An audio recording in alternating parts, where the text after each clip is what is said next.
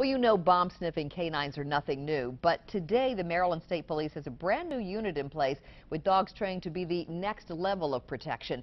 And it's the first state police agency in the country to have that special unit. 11 News reporter Jennifer Franciotti has the story. That's my boy. Sergeant Scott Scala gets his lab Jace ready to go to work. The pair are part of a new Maryland State Police canine unit made up of four dogs and their handlers, trained in the next level of protection, the ability to detect explosive material on a moving person. I handle a drug detection dog also, and this is the first time I've ever worked in and around people. It's a big difference. In this demonstration, watch how Jace reacts to the people walking by. He largely ignores them. Instead, he sniffs the air around them until he catches a scent that he's been trained to detect. And he zeroes in on the target subject. In this case, it's the man in the green shirt.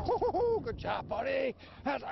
Wherever the odor is actually funneling, the dog will hit that particular odor and then we train them to actually follow it to the point of source. And if anybody is transporting anything in a bag or on their person, we can actually work the air surrounding that area and the dog will give us an indication and be able to give, give us a, a trail as to where the particular odor is coming from. The Maryland State Police is the first agency of its kind in the country to have person-borne explosive detection dogs, and you'll see them in large crowd events like O's and Ravens games, at the airport, a unit made necessary by events like the Boston Marathon explosions. You're looking at the best of the best. These dogs and their handlers had to go through 12 weeks of intensive training. It was a challenging but rewarding uh, 12 weeks.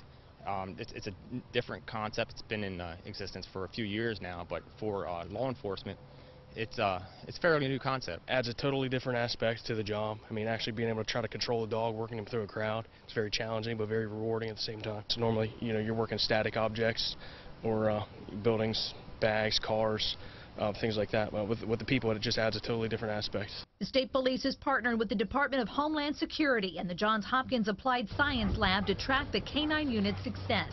We must ever evolve in what we're doing in our protection phase uh, for the citizens and for the country.